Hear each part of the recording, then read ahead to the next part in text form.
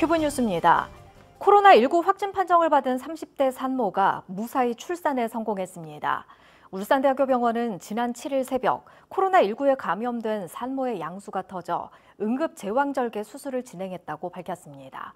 산모는 3.4kg의 건강한 아기를 출산한 뒤 음압병실에서 회복 중이며 신생아 또한 연쇄 감염을 우려해 1인 음압 격리실에 입원 중입니다.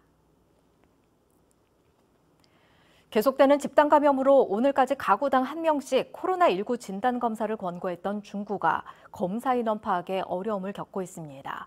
중구는 행정조치 이후 설치한 성남 둔치 선별진료소에서 모두 1,300여 명이 검사를 받았지만 행정조치 대상인 4개 동 주민인지 확인은 안 되고 있는 것으로 파악됐습니다.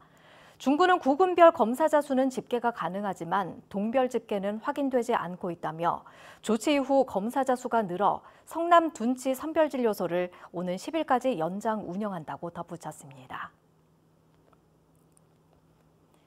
울산시의회가 울산시 교육청에 올해 제2회 추가 경정 예산을 10%가량 삭감한 데 대해 교육감이 유감을 표하고 항의의 뜻으로 본회의장을 퇴장했습니다.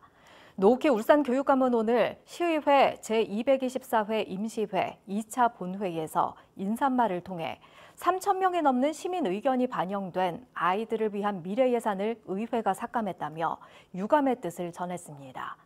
울산시 교육청은 2회 추경 예산으로 1,733억 원을 편성해 제출했으며 시의회는 9.5%인 164억 원을 삭감했습니다.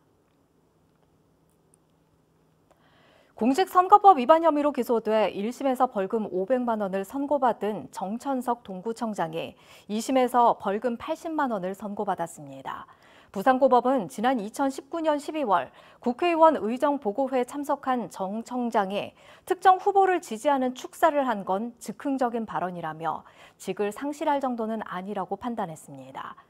선출직 공직자가 선거법 위반 혐의로 벌금 100만 원 이상의 확정 판결을 받을 경우 당선 무효나 당연 퇴직으로 처리됩니다.